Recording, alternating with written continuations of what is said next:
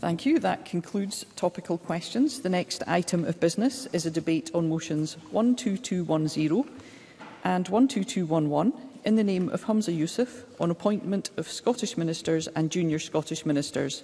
And I invite members who wish to speak in the debate to press their request to speak buttons.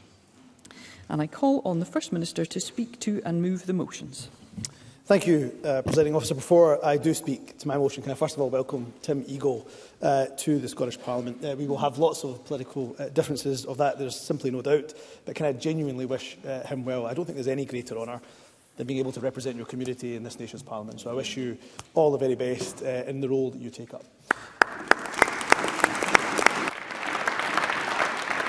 Similarly, let me also pay tribute to Donald Cameron, uh, MSP, who, again, for all of our political differences, I always thought was very considered, uh, very thoughtful, quite often, not always, but quite often non-partisan as well. Traits that I would suggest are very much needed in the Scotland office, yeah. uh, presiding uh, officer. But I, I wish to pay uh, Donald Cameron tribute uh, for always, uh, or, or very often, uh, working very constructively uh, with uh, the Scottish uh, Government, and I wish uh, him well. Look forward to engaging with him, uh, no doubt, in due course. Uh, Presiding officer, to the motion in my name, which I, of course, move, uh, I hope to, uh, that Parliament will agree uh, that Fiona Hislop be appointed as Cabinet Secretary, that CoCab Stewart and Jim Fairley be appointed as ministers in the Scottish Government. But let me start by paying tribute to Eleanor Whittam. Uh, she's been a valued member of my ministerial team since 2022, and she stepped down, uh, as she has said publicly, uh, from her current role as Drugs and Alcohol Policy Minister for health reasons. Uh, importantly, I know those who are working collectively to address the harm that Scotland is experiencing due to drugs and alcohol, uh, in particular those with lived experience, greatly appreciated Eleanor's open, honest and compassionate manner and indeed her work in taking forward proposals for reviewing drug laws. I sincerely hope that we'll see Eleanor back in ministerial office in the future And can I commend her for speaking courageously about her health and wish her all the very best for the future. Let me also thank Michael Matheson for his work in government over the past 30 years as Net Zero Secretary, as Justice Secretary, and of course, as rec most recently as Health Secretary. He had many notable achievements to his name and through these roles undoubtedly improved the lives of many people across the country. Of course, most recently as Health Secretary, he secured a fair deal with our NHS uh, Scotland junior doctors and ensure that Scotland continues to be the only nation in the UK that has not lost a single day to strike action. Let me turn to those who are joining government for the first time. CoCab Stewart and Jim Fairley. CoCab and Jim bring a wealth of significant professional experience to their roles, which will translate well into ministerial office. The appointment of CoCab Stewart as Minister for Culture, Europe and International Development is a historic moment for this government uh, and for this Parliament. Kokab, uh, as many will know, was a primary teacher in Glasgow and Edinburgh for three decades before becoming the first woman of colour to be elected to the Scottish Parliament in 2021. She's now the first woman of colour to hold ministerial office in the Scottish Government. And, presiding officer, I'm really proud to lead a party that has worked hard over many years to ensure a much greater diversity in our national parliament, whether it was the late and great Bashir Ahmed becoming the first person of colour to be elected to this Parliament, or indeed, as I've mentioned, COCAB now becoming the first woman of colour to serve in our government, I think we should all be proud of the progress that we're making to ensure that this Parliament reflects the community, better reflects the communities that we all seek uh, to serve. Equally, of course, we all recognise there is still much work in that regard to do. I'm sure that uh, COCAB's experience as convener of the Parliament's Equalities, Human Rights and Civil Justice Committee, uh, she will bring that experience uh, to her new role. And of course, COCAB does take over from Christina McKelvey, who will now report directly to me as Minister for Drugs and Alcohol Policy. And I know she is looking forward to the challenges, but also the opportunities ahead. There's no doubt in my mind whatsoever that Christina will take on this role with the empathy and the compassion that she has brought to every single role she has had in government.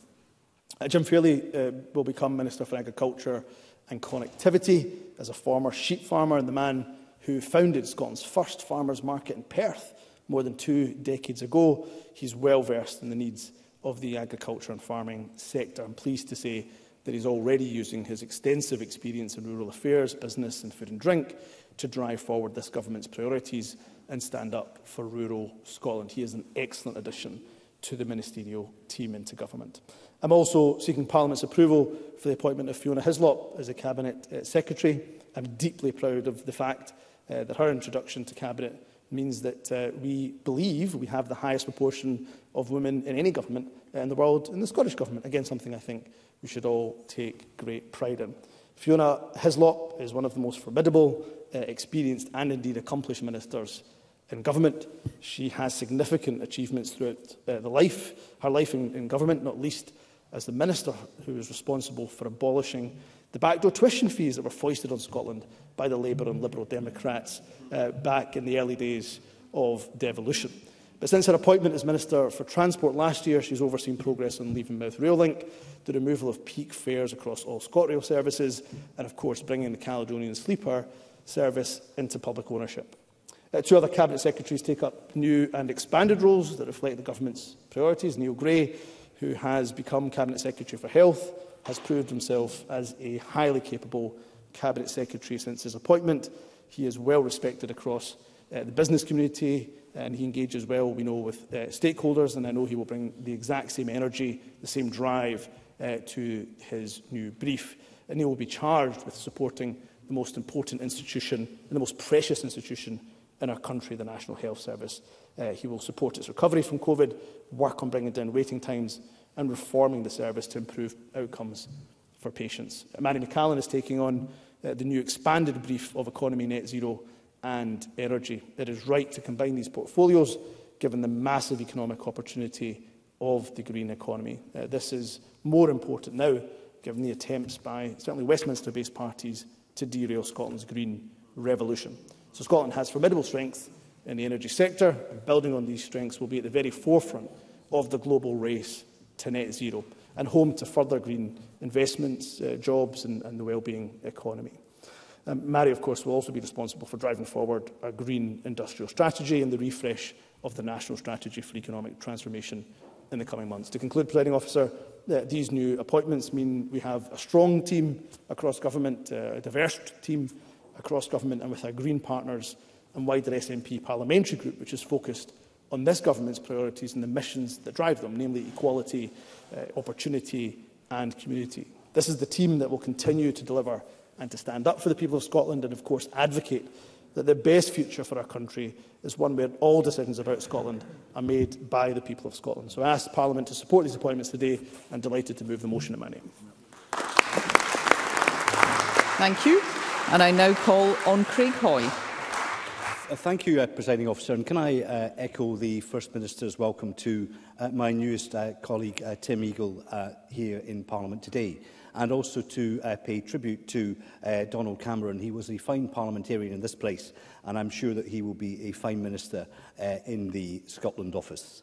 Presiding Officer, this is a reshuffle that the First Minister did not want to make a reshuffle brought about by the actions of Michael Matheson, someone that Hamza Yusuf believed to be a man of integrity, a man who had to sack himself because the First Minister was too weak to do so.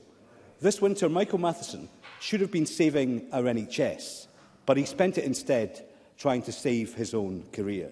Whether misleading the media or mismanaging our health service, SNP ministers have repeatedly failed the accountability test. Presiding officer, Mr Matheson leaves government without a shred of integrity. But having failed to dismiss him, Hamza Youssef is left without a shred of credibility. For the First Minister, this reshuffle was a missed opportunity. A missed opportunity to reset his failing leadership. A missed opportunity to regain control of the agenda. A missed opportunity to kick, a missed opportunity to kick the Greens into touch. And he ducked it because the green tail continues to wag the SNP dog. Let us hear Mr and Hoy. Regardless, and regardless, and regardless of how far and, has, and, and how fast she falls, this is still a government which cannot escape the long shadow cast by Nicola Sturgeon. So Fiona Hislop, and I welcome Fiona Hislop's appointment, and I recognise the uh, First Minister, uh, recognising that he is blazing a trail in bringing more women into his cabinet, and it is good to see her in a role as Transport Secretary. But such is the influence of the Greens that this government is now recycling its cabinet ministers. We wish her well, and in the words of Kate Forbes, we hope that she has more success making the trains run on time than her predecessors. As Neil Gray takes over where others, including Hamza Youssef himself, has failed, Uh, it is a critical role, and we, mish, uh, we wish uh, Mr Gray well in it, and we, work, uh, we look forward to working uh, with him. But he must simply see, as he takes on this new role, that doing more of the same won't deliver the change that patients so clearly need. Two years after Hamza Youssef announced an NHS recovery plan, our NHS is still in crisis. Surely, the First Minister can now see what every patient in Scotland sees – that his recovery plan has failed and it should now be scrapped. And while there is no place in his government for Kate Forbes, her close ally, Jim Fairley, takes up a rural post. The First Minister is reworking an old proverb. He is keeping his friends close, but the friends of his enemies even closer. Presiding officer, I would like to welcome Kokab Stewart to the government. It was inspiring, as the First Minister said, to see the first woman of colour join a Scottish administration, and I wish her well as the new Minister for Culture, Europe and International Development. And given how frequently it's nice to see him here in the chamber today, given how frequently her boss Angus Robertson's out of the country topping up his air miles, I'm sure she'll be kept very busy deputising for him. Presiding officer. Let's presiding hear officer, Mr. Hoy. Presiding officer, for the sake of the country, for the sake of our farmers, our hospitals, our roads and our railways. I hope that these new ministers will tackle the problems that the SNP has created and neglected over the last 17 years. But sadly, I do not live in hope. But as the new minister's climate board, Hamza Youssef's sinking ship, they can take comfort from one fact. So long as the First Minister remains in Butte House, their jobs are secure. Because the real lesson from the Michael Matheson scandal is this. Hamza Youssef would rather burn what's left of his own credibility than, than take action against one of his own ministers.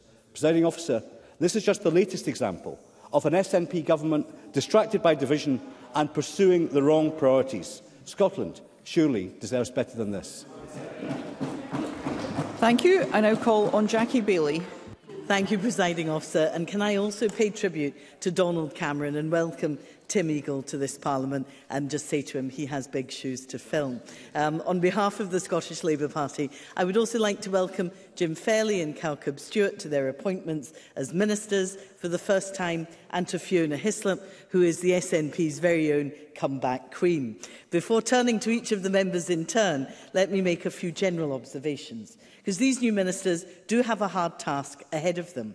They have to wrestle with poor budget decisions in their portfolios. They have to wrestle with keeping their Green Party colleagues on side, which I know Jim Fairley has views about, um, and with ensuring their devices have the correct data packages applied when they go on holiday, because roaming charges, or more accurately, the cover-up of them, is why we are here today. So we have an SNP government with 30 cabinet secretaries and ministers, the largest of governments ever in Scotland at a cost of more than £3 million, pounds and that is salaries alone. The question I keep asking myself is, are they worth it? With ferries not sailing, the A9 not being duelled, hospital and GP surgeries cancelled, 830,000 Scots on waiting lists, I fear the answer is no. The government is failing, and I'm not convinced that the addition of more ministers will stop the ship from sinking.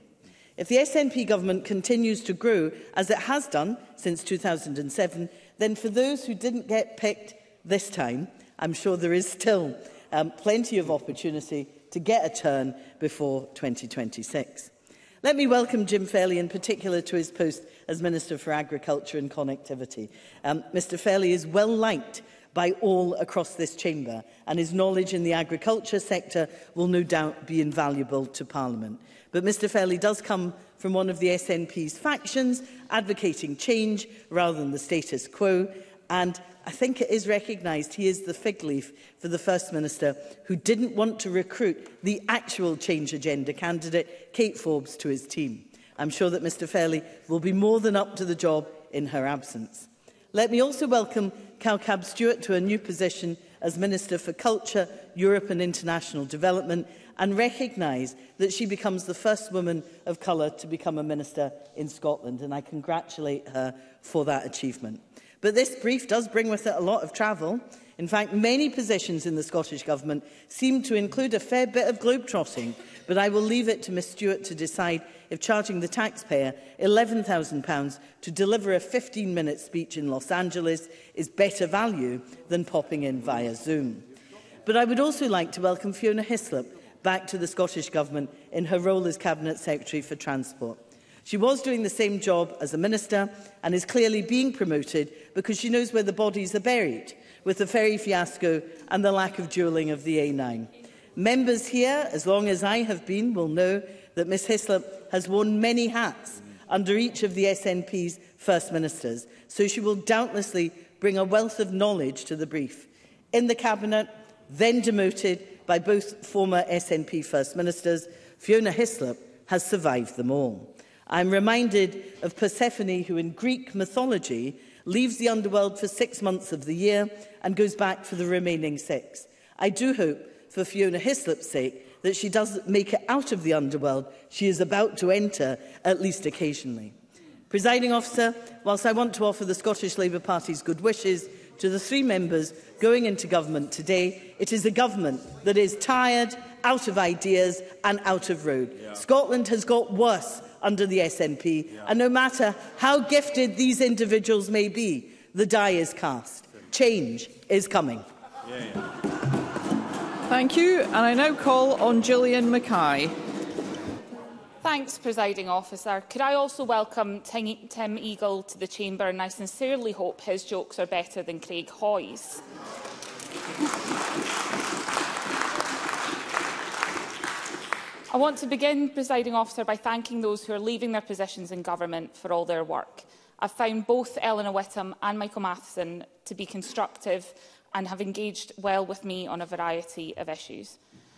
I'm very much looking forward to working with both Neil Gray in his new role as Cabinet Secretary for Health and Christina McKelvey as the new Minister for Alcohol and Drugs Policy.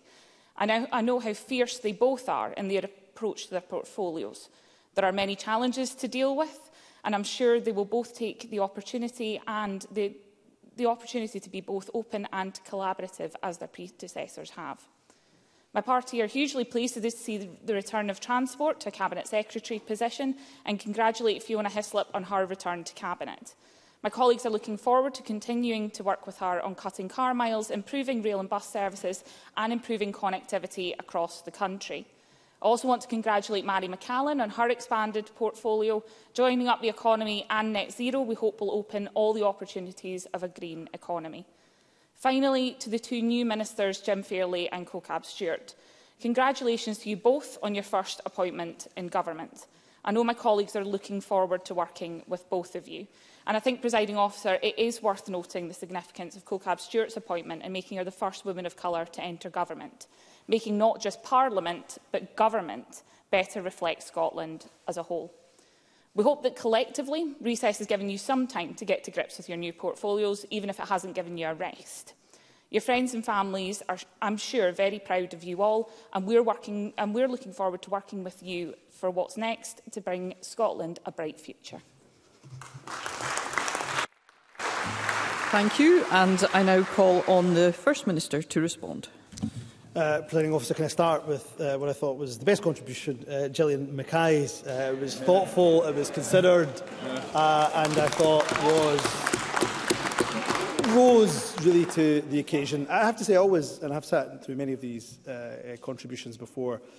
uh, over the years, and I always find it genuinely sad that uh, politicians are unable to rise to the occasion, yeah. no matter uh, no matter what the, the, the occasion is. I mean, this is an important day, particularly for those that are entering government. uh, for the first time. And for literally five minutes, uh, all you have to do really is rise uh, to the occasion. And Craig Hoy singularly failed to do that. No wonder we heard, no wonder, no wonder, presiding officer, we heard cries of bring back Jackson, bring back Jackson. And uh, I fully endorse uh, those cries. Though uh, I, I do get it, Planning Officer Craig Hoy uh, really has uh, no hope of ministerial office uh, unless he uh, donates to the Tory party. He might well become a lord and then, of course, be brought back into the Scotland office. Yeah. Who knows? Uh, that might that might well uh, happen uh, to him. In terms of um, Jackie Bailey's uh, contribution, uh, I, I tend to believe that it's better to let the Scottish people have their verdict on whether or not we have done a good job or not. That's why we were elected, of course, in 2007. We were re-elected in 2011, re-elected in 2016, re-elected in 2021. And the one thing I can say with Jackie Bailey is he shouts, you're on your way out. Uh, she shouts uh, that your time has come. She shouts the die is cast. Uh, all I can say to Jackie Bailey uh, is uh, that she is short of policy ideas, short of any constructive ideas, but full of hubris. And people will see through that time and time again. And it is a, it is a very unique, very, very unique Scottish Labour trait, of course, that they take the people of this country uh, for granted. And she asks, uh, was it worth it? Is it worth it having an SNP government? I would suggest asking